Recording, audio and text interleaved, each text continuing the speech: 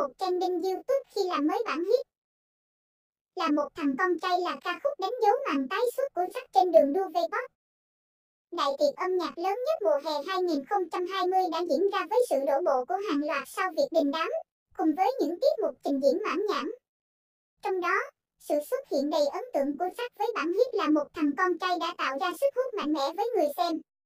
Xuất hiện tại sự kiện âm nhạc sóng VA ông cùng một nghìn nghệ sĩ trong và ngoài nước rất gây bất ngờ khi mang xe phân khối lớn lên sân khấu trình diễn.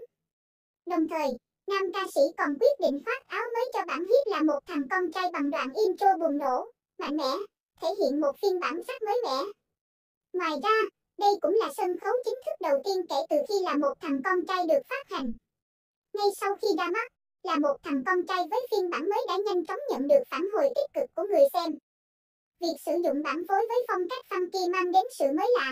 Kết hợp đoạn rap mở đầu thú vị đã giúp sắc xuất hiện trên top 10 trending YouTube Việt Nam.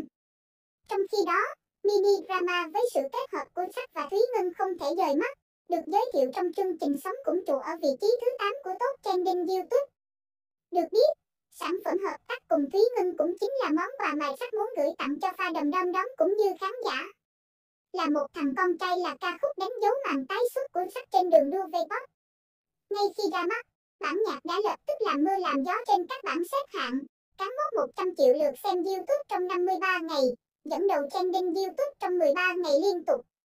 Bên cạnh thành tích nhạc số, sắc cũng được ghi nhận những con số ấn tượng cho kênh YouTube chính thức G97 của mình. Theo đó, sắc đang có 3,34 triệu người theo dõi trên kênh cũng đã có tới hơn 145 triệu lượt xem video, mặc dù mới chỉ đăng tải 7 video và mới chỉ có duy nhất một MV chính thức. Những con số trên phần nào cho thấy sức hút lớn của sách với công chúng nói chung và cộng đồng fan đông đón nói riêng. Hiện sách vẫn đang chăm chỉ làm việc với ekip để có thể sớm ngày ra mắt sản phẩm mới gửi tới khán giả và fan của mình. THILONG